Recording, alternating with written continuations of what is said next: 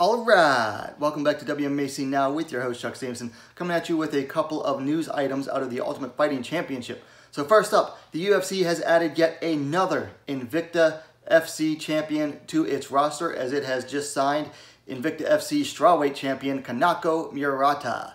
Murata is currently 11 and 1 as a professional. She last fought Emily Ducote at Invicta FC 38 for the vacant strawweight championship a fight she won via split decision.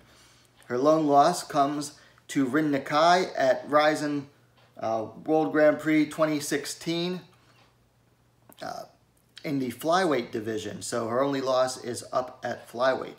Uh, she actually made her debut and first few couple of fights with Rizin before uh, moving to uh, abroad. She made her Invicta debut back in June of 2019, uh, defeating Liana Perosin via second round rear naked choke, before, and then capturing the title against Ducote at Invicta FC 38. Uh, one interesting fact about Murata is that she is the only female fighter in the world to have a win by the Von Flue choke. She has not one but two wins in back with it in back-to-back -back fights at Rizin 12 and then Rizin 15. Uh, she's a very strong wrestler, very strong grappling, good submissions, a very nice addition to a division that is very striker heavy. Now her striking still needs some work. However, she has been training a lot out of the CSA gym in California. Very good gym to work on for anyone that wants to go and work on their striking.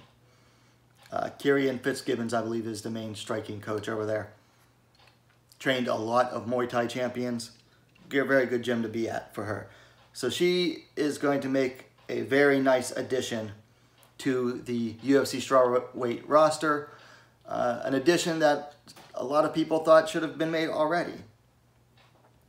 Also in UFC news, a pivotal strawweight bout between Carla Esparza and Marina Rodriguez has been rescheduled from July 25th in Abu Dhabi to now fighting at July, excuse me, moved from July 15th in Abu Dhabi, now scheduled for July 25th. This fight was pulled from the UFC scheduled July 15th event after one of Rodriguez's cornermen tested positive for COVID-19 at their isolation hotel in Brazil. Rodriguez said that she still wanted to fight anyway. So I guess she is moving on without that particular corner man and is now going to take the fight on the 25th. Um, Esparza, of course, is currently on a three-fight winning streak over Virna Jandiroba and Alexa Grasso and then Michelle Waterson. Rodriguez is coming off a draw with Cynthia Calvillo, sandwiched uh, after, excuse me, coming after two wins over Jessica Aguilar and Tecia Torres.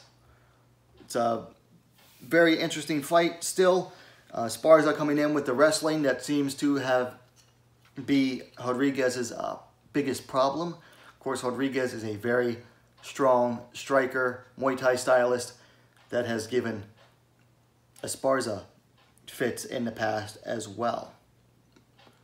Okay, so that's it for the news. Uh, new strawweight in the UFC and one fight that was originally pulled from an event and now has been rescheduled. Let me know your thoughts on these two news items in the comments down below. Of course, if you like the video, give it a like. And hey, what are you waiting for? Subscribe to WMMA Scene Now, the most complete women's mixed martial arts dedicated platform on YouTube. Thanks for watching. We'll see you next time.